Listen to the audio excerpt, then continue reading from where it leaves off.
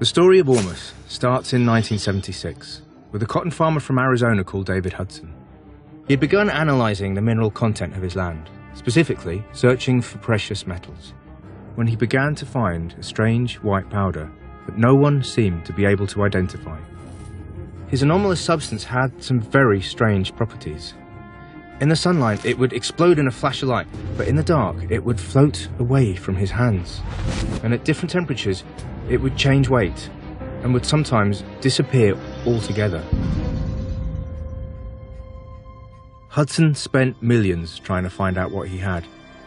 Yet according to all the analysis, his white powder was pure nothing. It turns out that Hudson, who discovered Ormus, was doing something very similar.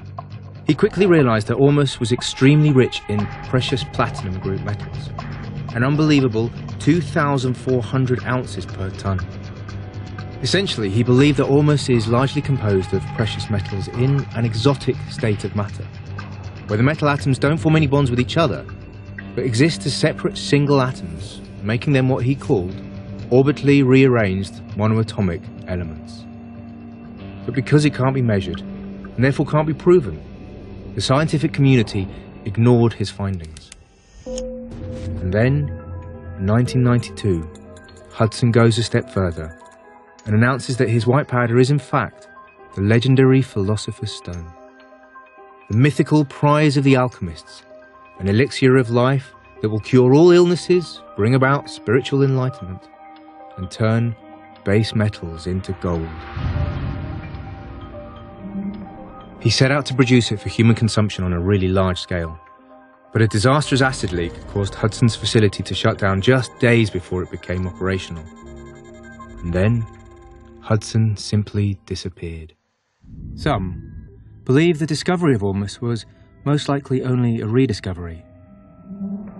In ancient Egypt, a precious mineral referred to in many temples and steles was used by the priests and pharaohs in many of their rituals. The powder was made by the priests and used to make ceremonial bread cakes for the pharaohs, so that they might live longer and be closer to God. Centuries later, in 1904, British archaeologist Sir Flinders Petrie stumbled across a hidden temple on Mount Serabit in the middle of the Sinai Desert. Inside the temple, he found huge quantities of an unknown white powder that resembled ash, yet strangely, he found no evidence of the fires. A few wayward historians have dared to suggest that this is the very mountain in the Sinai Desert under which the Hebrews in 1400 BC, led by Moses out of Egypt, camped during the time of the Exodus. Moses, who according to the unlikely Bible story, had been found in the rushes and adopted by and raised in the Egyptian royal family.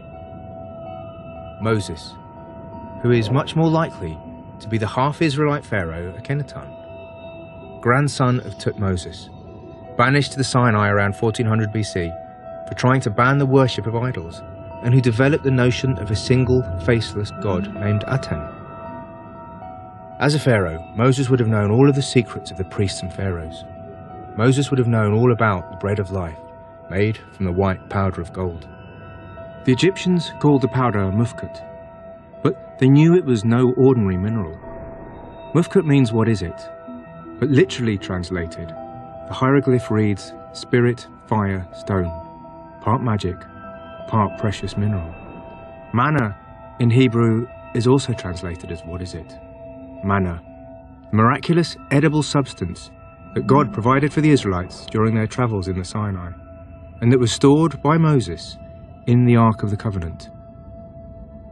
Does this also shed light on the strange story in Exodus when Moses, furious that his people were worshipping an idol of a golden calf, took the golden statue, burnt it in the fire, ground it to a powder, mixed it with water, and made the children of Israel drink of it?